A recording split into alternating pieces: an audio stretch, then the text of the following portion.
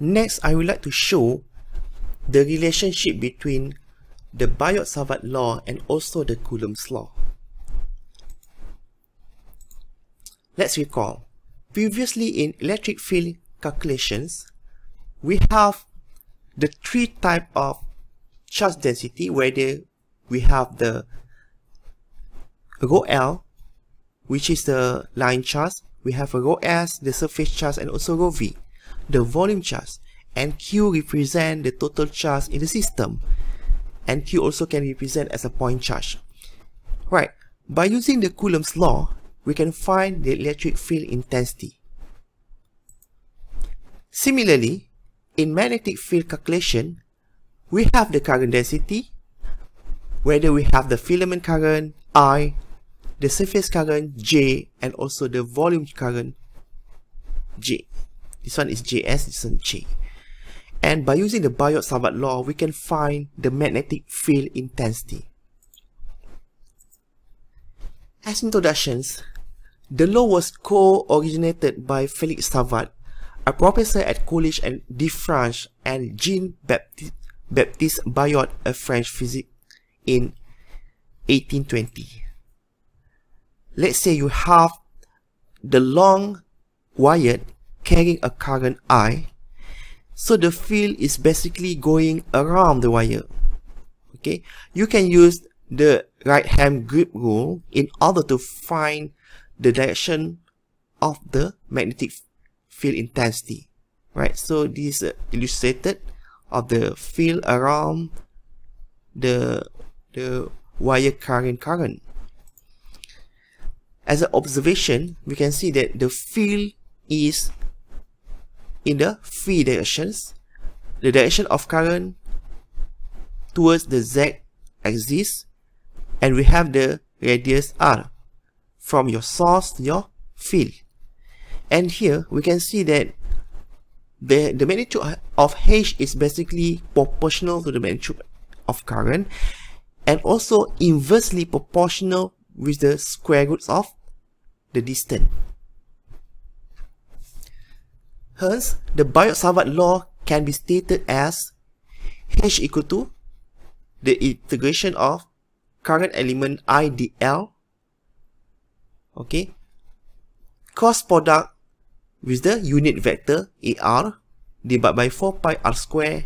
The unit is ampere per meter for filament current. For the surface current we have the current element JS ds and then we cross product with a uh, unit vector AR and the same thing for pi r square. The unit the same. And also the volume current we have J dV cross product with AR divided by 4 pi r square.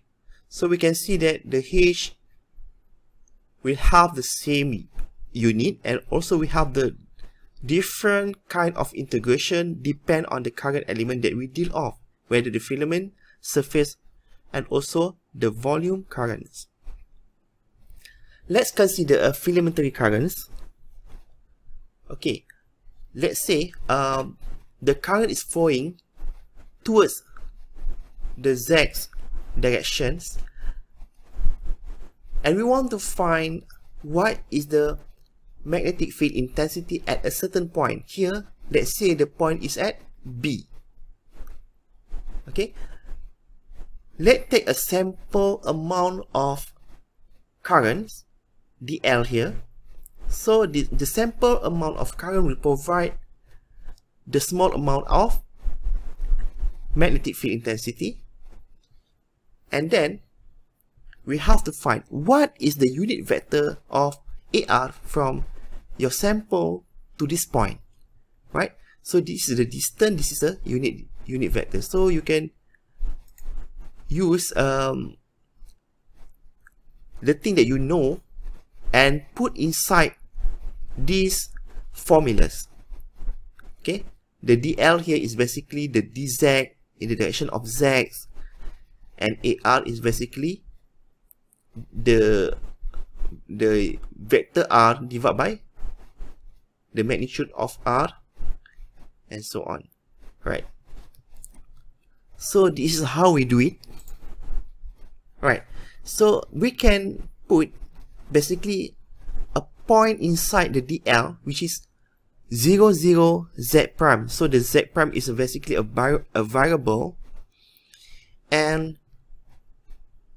we have a z.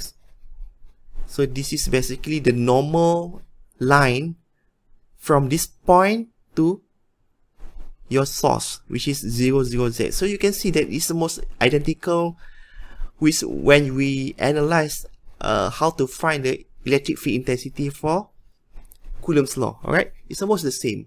First, you have you have to select the current element. Step two, the identify the DH, and step three, integrate over filament current length to get H. So from here, you you can find what is basically the vector R, and also what is the magnitude of R. And this is the phi directions for. So we take a cylindrical coordinate. Okay, we see one by one. For the step one, so basically the current element, the DL is basically the direction of Z and the variable is dz prime because the z prime is our variable so we, we integrate with a dz prime. The step 2, so we, we put everything we know inside the formulas. Okay, here the AR is equal to R divided by uh, the vector r divided by the magnitude. So it become r bar divided by r cube. So the difference is we have the cross product here. For the electrostatic, we have the dot product. The dot product means that our E field had the same uh, unit vector, same direction uh, with our source or our R. From here, you, the cross product will be a little bit different. So you we put inside everything we know the limit which is the length of our filament is from A to B. So basically this is a the finite uh, length, uh, the finite length or the short um, source, the short uh, wired, for example. So we use the Biot-Savart. So you we do the integration from A to B. So our magnitude of current I, Iz, dz prime, cross product with this is our vector r. Vector r is from here z prime minus z z prime minus z in the direction of negative z right and then we have r in the direction of r so r in the direction of r minus z z prime minus z? And this is how we find the magnitude okay? R r cube equal to r square plus uh, z prime minus z square and then 3 over 2 right? This is the form.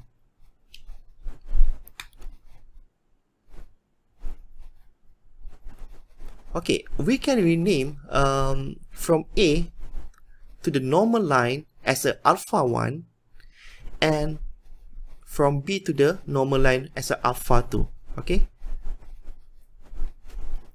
And then we can use uh, this this rule okay? We have basically for for cylindrical coordinate we have r phi z. So it's quoted like this r phi z. So imagine uh, if you have r phi and if r cos phi you got z. Z cos r you got phi and so on phi cos r dapat z.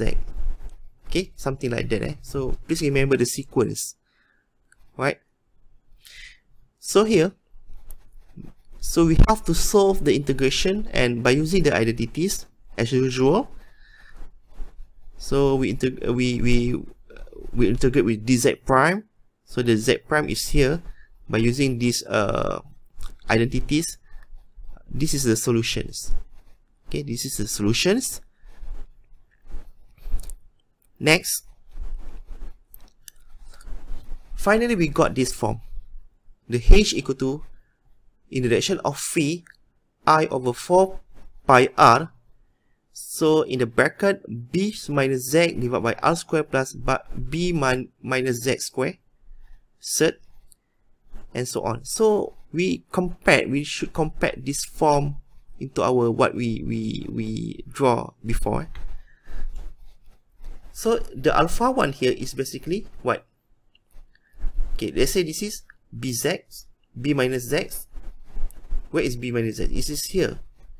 Okay b minus z and and this is r square plus b minus z square which is um, this part right? This is r square and this is uh, b minus z square third. So this is uh, the thing so we can see here okay this thing is basically this part divided by this part which is per which is sine alpha 2 alright? Sine alpha 2 and this part we have minus a minus z. A minus z. Or we can reverse as plus z minus a from here to here. So z minus a divided by r square plus a minus z square which is this part.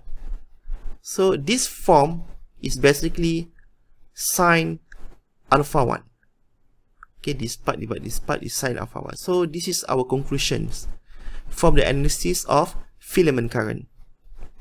Right so this basically this form will be given during your exam. Okay? So no need to remember but you have to understand what is it. And what happen if your filament is very long? Is very long mean alpha 1 and alpha 2 will become very large so approximate to 90 degrees. So we can simplify our expression to be h equal to integration of phi i divided by 2 pi r ampere per meter